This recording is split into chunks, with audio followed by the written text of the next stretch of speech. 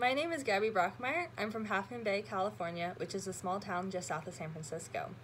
Three of my personal values are authenticity, curiosity, and compassion.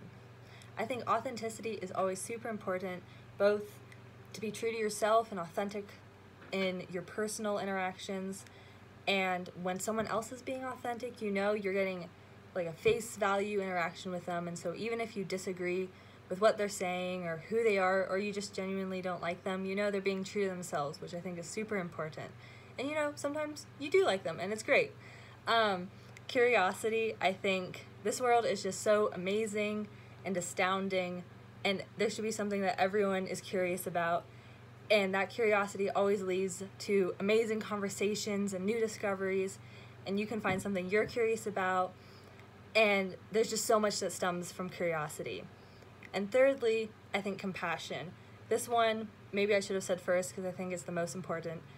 But in this world and day and age we're living in, compassion is just something everyone should have for everyone else, whether you know them, their situation, a random stranger, or one of your best friends who's going through something. It's just having compassion is something everyone can do to make the world a better place.